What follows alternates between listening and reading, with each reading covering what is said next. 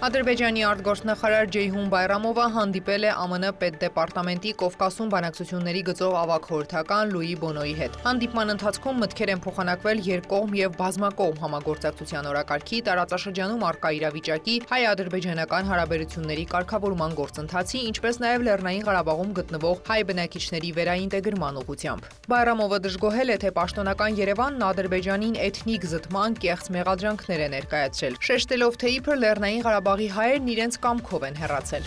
Իսրայելի պատասխանը Գազայի հատվածից պաղեստինցի զինյալների աննախադեպ հարձակմանը կփոխի մերձավոր արևելքը, հայտարարել է Իսրայելի վարչապետ Բենյամին Նեթանյահուն։ Այն ինչի միջով կանցնի Համասը կլինի սարսափելի, մենք արդեն պատերազմի մեջ ենք եւ նոր ենք սկսել։ Խնդրում եմ, որ պինդ մնաք, քանի որ մենք փոխելու ենք մերձավոր արևելքն, ասել է նա երկրի հարավում իշխանությունների հետ հանդիպմանը։ Հրեական պետության պաշտպանության նախարարն էլ հայտարարել է, որ Իսրայելը սկսում է Գազայի հատվածի ամբողջական շրջափակում, դադարեցնելով պաղեստինյան Պաղեստինյան անկլավին սննդի, վառելիքի եւ էլեկտրաէներգիայի մատակարարումները։ Իսրայելա-պաղեստինյան հակամարտության կտրուկ սրման հետևանքով երկու կողմից հարյուրավոր խաղաղ բնակիչներ են զոհվել։ Իսրայելական բանակի հարվածների հետևանքով զոհված պաղեստինցիների թիվը հասել է 560-ի, հայտնել է Պաղեստինի առողջապահության նախարարության ներկայացուցիչը։ Վիրավորվել է 2900 պաղեստինցի։ Պաղեստինյան Համաս շարժման հարձակումների հետևանքով Իսրայելում զոհերի թիվը հասել է 800-ի։ Այս մասին հայտնում է իսրայելական The Times of Israel գործակալությունը ծառայությունը։ Վերջին տվյալի համաձայն ավելի քան 2200 մարդ է վիրավորվել։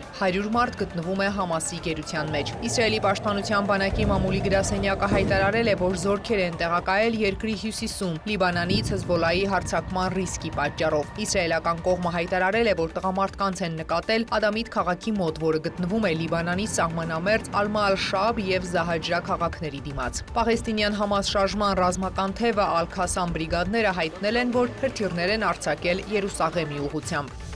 Կրեմլում մտահոգված են Իսրայելում հակամարտության սրմամբ եւ համարում են, որ արկա է այդ հակամարտությունում երրորդ ուժերի միջամտության ռիսկ։ Լրագրողներին հայտնել է Ռուսաստանի նախագահի մամուլի խոսնակ Դմիտրի Պեսկովը, մեկնաբանելով ամերիկյան ռազմածովային նավատորմի մոտեցումն Իսրայելի ափերին։ Կրեմլի խոսնակը կարևոր է համարել իրավիճակի լուծման բանակցային տարբերակներ գտնելը։ Երեք Միացյալ Նահանգները հայտարարել էր, որ Իսրայելի ափերին կմոտեցնի ռազմանավեր, ինչպես նաև Ջերալդ Ֆորդ ավիակիր նավը, որպիսի ցույց տա իր աջակցությունն այդ երկրին։ ԱՄՆ պաշտպանության նախարարը հայտարարել էր, որ Վաշինգտոնը նաև կմեծացնի ռազմական աջակցությունը եւ զինամթերք կտրամադրի Իսրայելին։ Թուրքիայի նախագահ Ռեջեփ Թայիպ Էրդողանն անդրադարձել է Իսրայելա-Պաղեստինյան հակամարտությանը։ Էրդողանն ընդգծել է, որ երկու երկրի միջև արկա խնդիրը պետք է լուծվի բանակցությունների միջոցով միջազգային իրավունքի շրջանակում։ Կրակի վրա յուղ լցնելը ձեռնտու չէ երկու կողմերից եւ ոչ մեկին, այդ թվում նաեւ քաղաքացիական անձանց։ Էրդողանն ընդգծել է Թուրքիայի պատրաստակամությունն անելու ամեն ինչ ռազմական բախումներին հնարավորինս շուտ վերջ տալու համար։